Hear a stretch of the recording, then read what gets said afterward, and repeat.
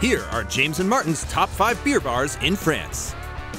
Coming in at number 5 is Les Ethos. With 18 taps and a shop with 100 bottles of quality beer from around the world, it's the largest beer selection in Bordeaux, and that's not all. Add a delicious tapas-style menu and regular courses for those wanting to know more about the craft beer scene, and Les Ethos may be the closest bar to heaven the world may ever know.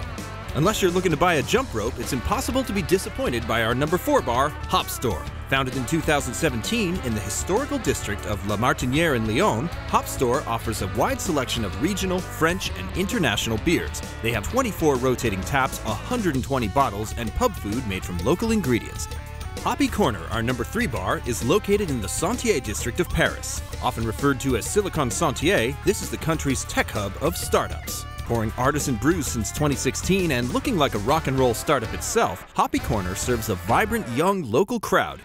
Our number two bar is in the heart of Bordeaux, Jacques Craft Beer. With seven taps and nearly 400 bottles, JCB has been flying the craft beer flag in France since 2014. Licensed as the area's first shop and drink store, most of the bottles are in coolers, so you can enjoy them on site while nibbling off plates of charcuterie and raising a defiant finger to the people across the street, drinking wine instead of beer like you. At La Fina Finamousse, you'll find 20 craft taps and over 150 meticulously curated bottles with a focus on some of the rarest beers in the world. It's the ideal place for beer lovers with regular tastings, events, and workshops. Their obsession with making every customer number one is why they're number one with us as well. Here are James and Martin's top five beer bars in London. Coming in at number five is The Rake. Tucked around back of Borough Market in Southwark, The Rake is a specialty beer bar with a famously small seating area yet a surprisingly large beer menu. With five taps, three hand pumps, and two massive fridges stocked with a myriad of bottled delights, this bar is one secret worth keeping.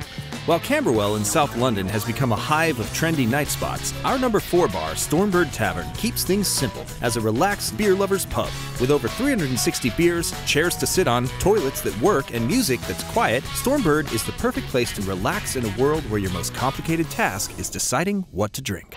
At a junction of five roads in Hackney is an imposing 19th century building that houses our number 3 bar, the Pembury Tavern. This bar is as eclectic as its clientele. A range of generations rub shoulders to grab a delicious pint and a slice of pizza. And if that's not proof enough that we can all get along, then beer has truly taught us nothing.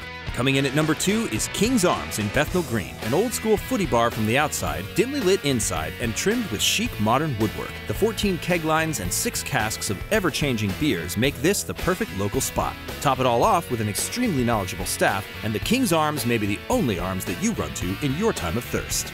Pressure Drop, a brewery in North London, was looking to breathe new life into their old space, and their friends at Verdant Brewing Company were looking for a presence in London. So our number one bar, The Experiment, was born. Home to the freshest beer from both breweries every week, The Experiment is a chance to prove that small, independent breweries are stronger together